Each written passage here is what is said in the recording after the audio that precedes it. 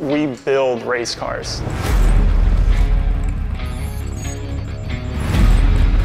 The Formula SAE teams here at Missouri S&T consist of two teams that not only design and build the cars, but actually go and race cars.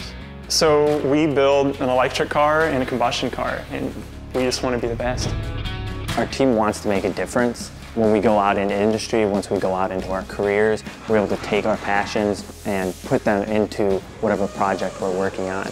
And all that was developed back in college when we were working on this race car.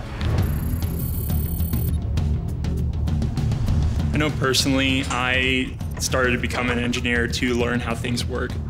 And being here at this university, I get this very special opportunity to be on the Formula SAE teams. And it helps us learn just how these complicated systems go together and how everything works. One of the biggest things that this team is doing for us is it's teaching us to think outside the box.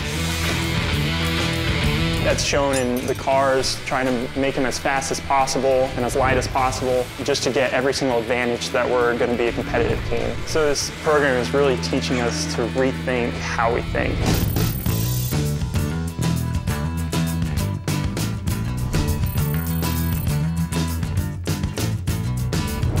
Haldex produces commercial vehicle brake systems and changes within commercial vehicles like autonomy and electrification are changing what we need to do from a braking system perspective.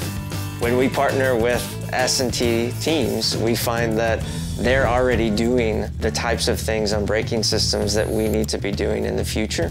And so as we partner with them, we're gaining access to all this knowledge and development that they're already engaged in. These programs develop skills in students that aren't part of their regular curriculum. They're the guys and gals that step forward and lead our organization at every level, in the legislative level, and the industry level, and within our customers. So when I think of the future of our industry, I think of these kids driving it.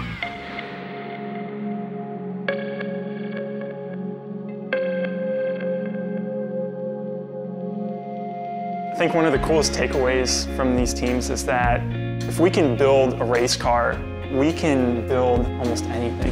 We can go out and disrupt this industry and, and really create new ideas that have never been done before.